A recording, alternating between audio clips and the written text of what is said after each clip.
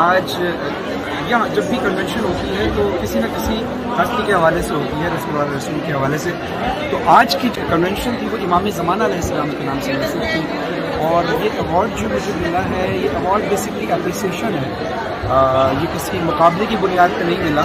जब हम किसी की हौसला अफजाई करते हैं तो मैंने इनसे पूछा था कि ये अवार्ड आपको किस बिना पर देना उन्होंने अप्रिसिएशन की बिना पर।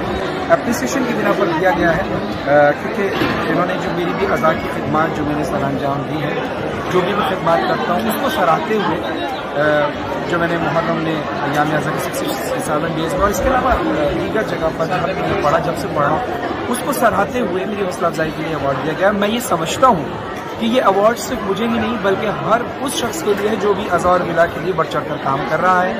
आ, ये समझिए ये अवार्ड सिर्फ़ मुझे नहीं मिला ये पूरे पाकिस्तान को मिला दुनिया भर के तमाम अजादारों को मिला है तमाम खानों को मिला है।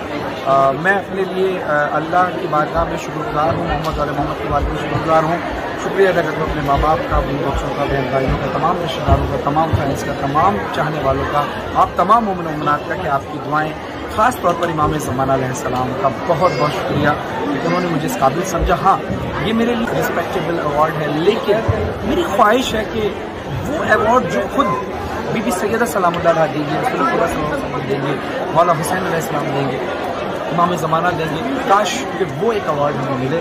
बहरहाल इसके लिए मैं मुस्लिम कन्वेंशन का बहुत बहुत शुक्रिया अदा करता हूँ और तमाम ही अरकान का बहुत शुक्रिया अदा करता हूँ जिन्होंने मेरी हौसला अजाई के लिए इस सितारा अज़ा का खिताब दिया और सितारा अज़ा award thank you thank you